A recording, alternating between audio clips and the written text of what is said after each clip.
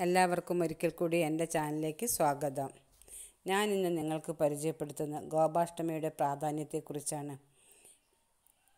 ഭഗവാൻ കൃഷ്ണനും സഹോദരനായ ബലരാമനും ആദ്യമായി പശുക്കളെ മേയ്ക്കാനായി പോയ ദിവസത്തെയാണ് ഗോപാഷ്ടമിയായി ഹിന്ദുമത വിശ്വാസപ്രകാരം കണക്കാക്കുന്നത്.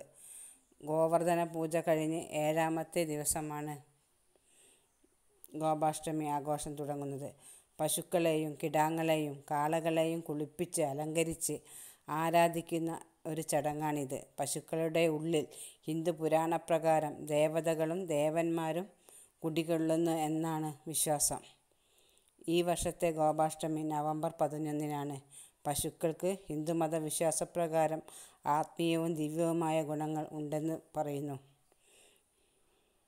വെള്ളം അരി പൂവ് സുഗന്ധം മധുരപലഹാരങ്ങൾ എന്നിവ ഉപയോഗിച്ചാണ് ഗോക്കളെ പൂജിക്കുന്നത്.